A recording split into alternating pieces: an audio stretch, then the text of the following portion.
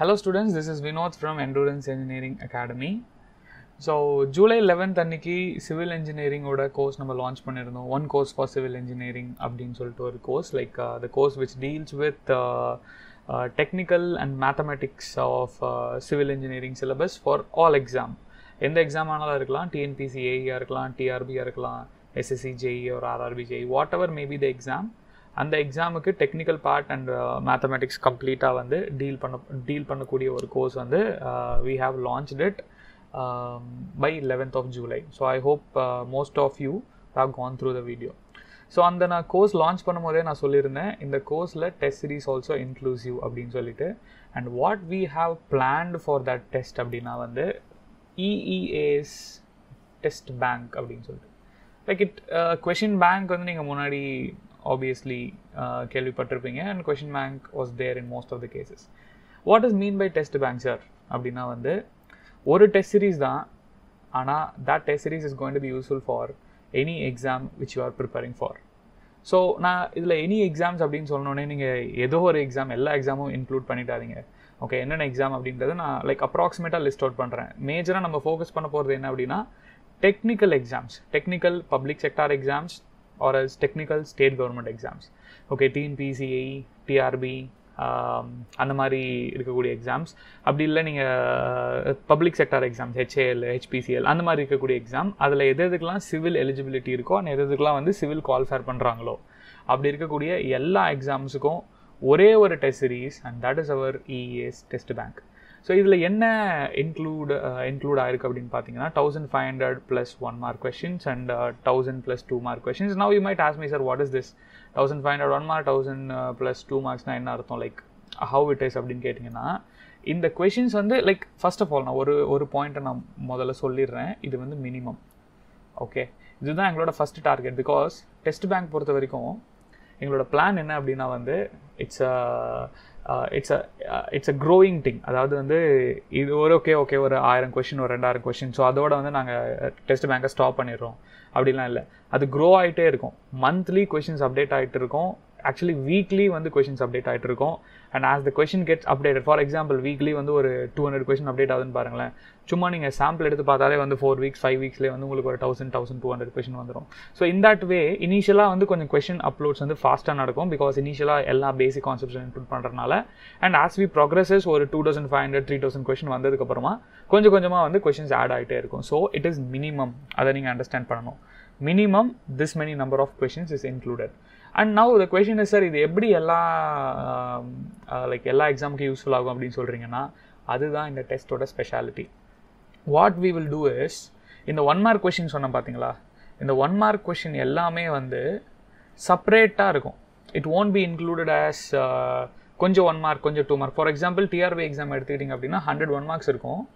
And forty two marks இருக்கும் right so இதை நான் ரெண்டுத்தையும் கம்பைன் பண்ணி ஃபார் எக்ஸாம்பிள் ஒரு டாபிக் டெஸ்ட் வைக்கிறேன் இல்லை ஒரு சப்ஜெக்ட் டெஸ்ட் வைக்கிறேன்னா ஒரு டுவெண்ட்டி ஒன் மார்க்கு ஒரு டென் டூ மார்க்குன்னு சொல்லிட்டு நான் கம்பைன் பண்ணி வச்சேன் அப்படின்னா it will be useful only for TRB கரெக்டாக ஏன்னா வந்து அதில் ஒன் மார்க் இருக்குது டூ மார்க் இருக்குது கம்பைண்டாக இருக்குது டிஆர்பிக்கு மட்டும் யூஸ் ஆகும். பட் நீங்கள் இதே டிஎன்பிசிஏ எடுத்துக்கிட்டிங்க அப்படின்னா வந்து டூ மார்க்ஸ் கிடையாது ரைட் எஸ்எஸ்சிஜேயிலையும் அதே மாதிரி தான் ஸோ நம்ம என்ன பிளான் பண்ணுறோம் அப்படின்னா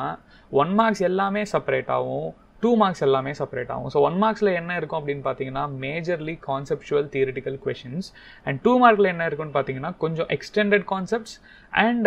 problematic question so இதுதான் வந்து பேசிக் பிளான் ஸோ இந்த ஒன் மார்க் கொஷினே நம்ம ஸ்ப்ளிட் பண்ணிவிடுவோம் for example civil engineering strength of materials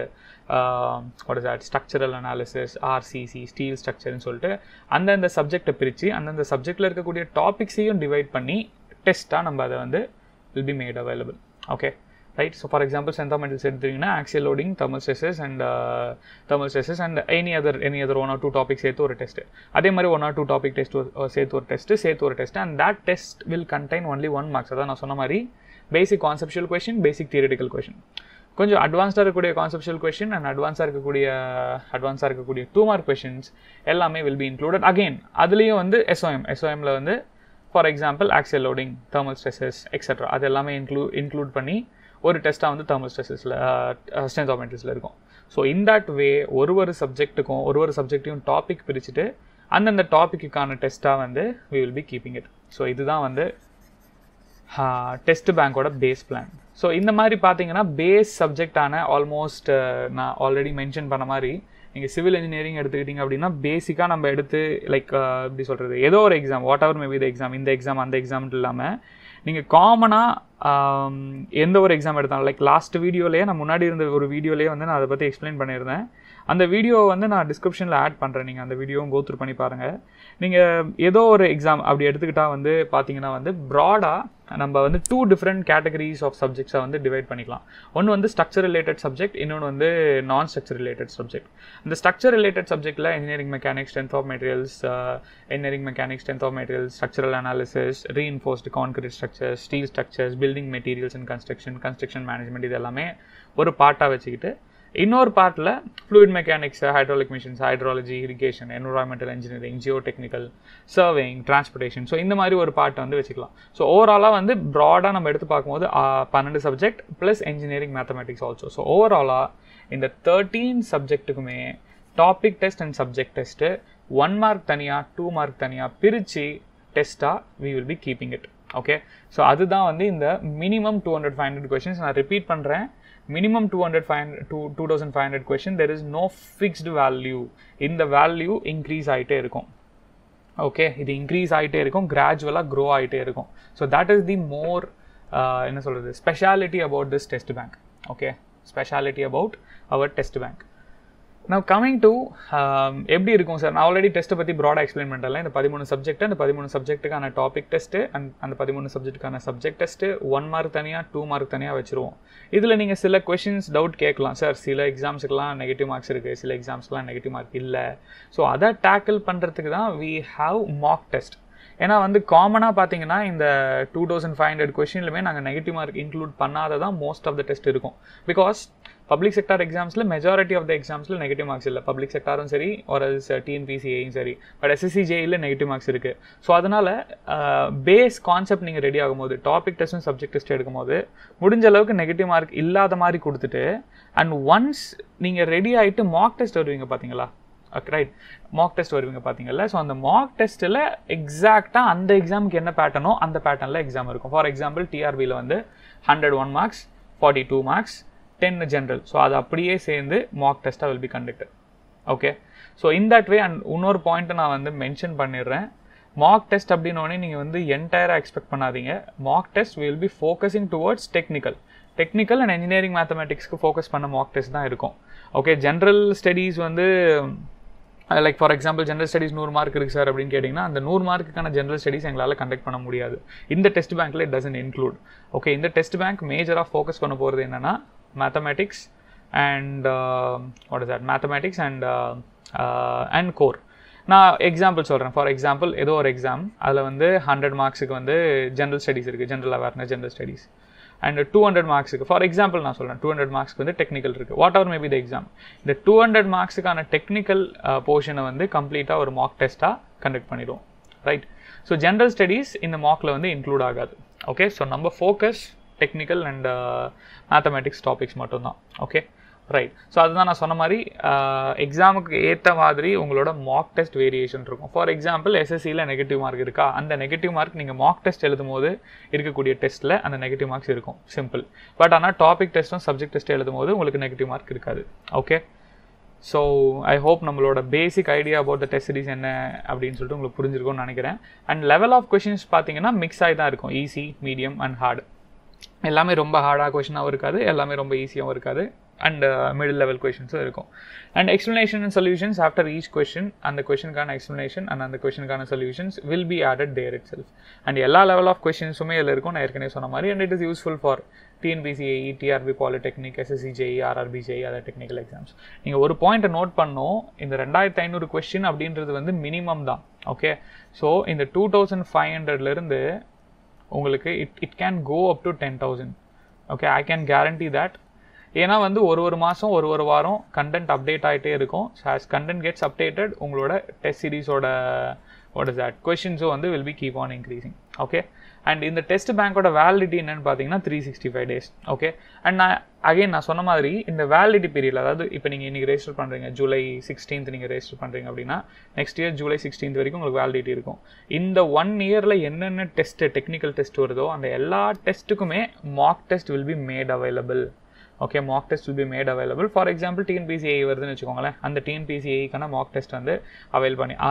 avail பண்ணிவிடுவோம் அண்ட் டிஆர்பி வருதுன்னா டிஆர்பிக்கான மார்க் டெஸ்ட்டும் அந்த பீரியட்லேயே அவைல் ஆகிடும் ஸோ சிம்பிளாக சொல்லணும்னா இந்த டைம் பீரியடில் three sixty five days of time பீரியடில் எந்த டெக்னிக்கல் எக்ஸாம் வந்தாலும் அந்த technical எக்ஸாமுக்கான mock test technical mark test இதில் அவைல் ஆகிடும் ஸோ நீங்கள் வந்து இதை you don't need to register separately for any other test series அதுதான் வந்து எங்களோட அல்டிமேட் ஏம் ஸோ ஒரு test series which should act as a base for all okay so அதுதான் இஏ டெஸ்ட் பேங்கோட ஏம் அண்ட் இதில் ரொம்ப இம்பார்ட்டண்டான பாயிண்ட் என்னென்னு பார்த்தீங்கன்னா நீங்கள் இதை செப்பரேட்டாக ரெஜிஸ்டர் பண்ணணும்னு அவசியம் இல்லை. நம்மளோட சிவில் ஃபுல் கோர்ஸ் ஸ்டூடெண்ட்ஸுக்கு it is completely free there is no requirement for you to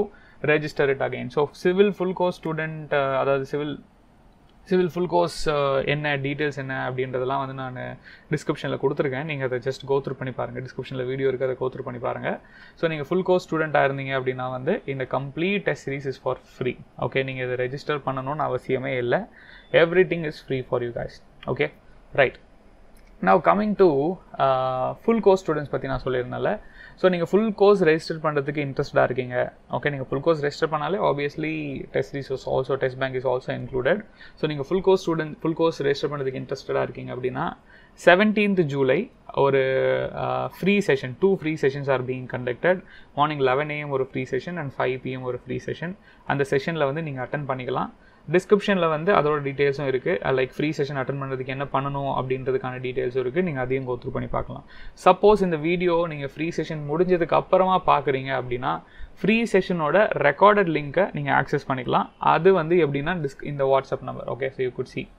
WhatsApp number இருக்குல்ல? இந்த வாட்ஸ்அப் நம்பரில் உங்களுக்கு இந்த மாதிரி சிவில் கோர்ஸோட டெமோ செஷன்ஸ் வேணும் சார் அப்படின்னு சொல்லி நீங்கள் எனக்கு மெசேஜ் பண்ணிங்கன்னா will be forwarding it forwarding it you okay so முடிஞ்ச அளவுக்கு லைவ் செஷனை லைவில் அட்டன் பண்ணிட்டீங்கன்னா வில் பி பெட்டர் இஃப் அதான் நான் சொன்ன மாதிரி இந்த வீடியோ நீங்கள் லேட்டாக பார்க்குறீங்க then you can message me I will be forwarding you the demo videos okay so அதை தாண்டி ஆல்ரெடி ரெக்கார்டட் வீடியோஸும் வந்து